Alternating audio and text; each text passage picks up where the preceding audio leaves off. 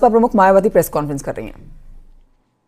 अपनी पार्टी द्वारा पूरे देशवासियों को व खासकर कमज़ोर वर्गों के लोगों को ये अवगत कराना चाहती हूँ कि इसमें कोई संदेह नहीं है कि केंद्र में सत्ता व विपक्ष द्वारा अब संसद के अंदर व बाहर भी संविधान की कापी दिखाने की होड़ में ये लोग सभी एक ही थैली के चट्टे बट्टे लग रहे हैं। तथा इनकी सोच भी लगभग एक जैसे ही लग रही है। और इन दोनों ने अंदर अंदर मिलकर अब इस संविधान को काफ़ी हद तक जातिवादी, सांप्रदायिक एवं पूंजीवादी समाज, पूंजीवादी संविधान बना दिया है। अनेकों संशोधनों के ज़रिए अमेंडमेंट के ज़रिए, इसे काफ़ी हद तक जातिवादी, सांप्रदायिक एवं पूंजीवादी संविधान बना दिया है। और इन दोनों की अंदरूनी मिली भगत होने की बात, यानी कि सत्ता और विपक्ष की, मैं अंदरूनी मिली भगत होने की बात इसलिए कह रही हूँ क्योंकि इन दोनों की, व अन्य पार्टियों की भी इन दोनों की भी, यानी कि कांग्रेस, खासकर कांग्रेस और बीजेपी, इन दोनों की, व अन्य और पार्टियों की भी जिन जिन राज्यों में सरकारें चल रही हैं तो वे सभी राज्य सरकारें वहाँ के लोगों की, खासकर गरीबी, बेरोजगारी व महँगाई आदि को दूर करने में बुरी तरह से विफल हो गई है। और अब उन पर से जनता का ध्यान बांटने के लिए इन दोनों की, अर्थात सत्ता व विपक्ष की, अंदरूनी मिली भगत से ही ज़बरदस्ती संविधान बचाने का नाटक किया जा रहा है, जिससे देश की जनता ज़रूर सा, देश की जनता ज़रूर सावधान देश की जनता को ज़रूर सावधान रहना है। और अब ये लोग अपने अपने राजनीतिक स्वार्थ में, यानी कि सत्ता और विपक्ष, के ये लोग अपने अपने राजनीतिक स्वार्थ के लिए यहाँ यहाँ इस भारतीय संविधान के साथ, ये भारतीय संविधान है तो यहाँ इस भारतीय संविधान के साथ जो खिलवाड़ कर रहे हैं, ये कतई भी उचित नहीं है। जबकि इन दोनों ने अर्थात सत्ता व विपक्ष ने अब तक अंदर अंदर मिलकर संविधान में इतने ज़्यादा संशोधन कर दिए अमेंडमेंट कर दिए हैं कि अब ये बाबा साहब, डॉक्टर भीमराव अंबेडकर की मनसा वाला समतामूलक, धर्मनिरपेक्ष एवं बहुजन हिताय वाला संविधान नहीं रहा है। बल्कि अधिकांश अब ये जातिवादी सांप्रदायिक एवं पूंजीवादी संविधानी बनकर रह गया है।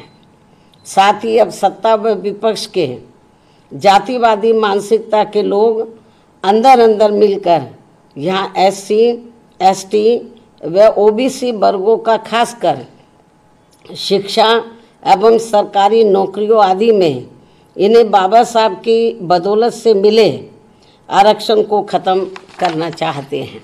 या फिर इसे निष्प्रभावी बना के इन्हें यहाँ ये सभी पार्टियाँ, इसका पूरा लाभ, यहाँ ये सभी पार्टियाँ, इसका पूरा लाभ इन्हें नहीं देना चाहती हैं। इसलिए अब संविधान को बचाने के नाम पर व इसकी आड़ में सत्ता व विपक्ष द्वारा जो जातिवादी, सांप्रदायिक एवं पूंजीवादी राजनीति की जा रही है तो उससे इन वर्गों के लोगों को कतई भी लाभ मिलने वाला नहीं है।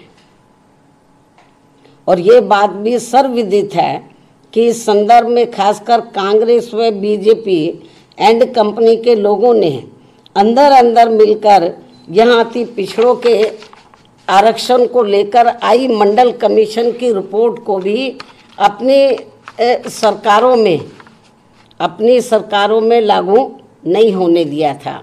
लेकिन श्री बीपी सिंह की बनी केंद्रीय सरकार में इसके लागू होने पर भी तब फिर इन दोनों पार्टियों ने, Congress and BJP and company के लोगों ने, अर्थात इन दोनों पार्टियों ने पूरे देश में इसका पर्दे के पीछे से काफ़ी डटकर विरोध भी कराया था।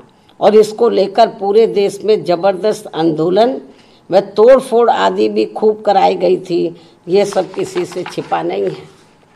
और इन्हीं दोनों पार्टियों ने मिलकर आगे केंद्र में रही, कांग्रेसी सरकार के समय में, फिर संसद में समाजवादी पार्टी को आगे करके व इनकी मदद से देश में एससी व एसटी वर्गों के सरकारी कर्मचारियों का पदोन्नति में आरक्षण को भी आरक्षण को प्रभावी बनाने के लिए बीएसपी के अति संघर्ष के बाद लाए गए संबंधित संशोधन बिल को भी पास नहीं होने दिया था, जो अभी भी लटका पड़ा है।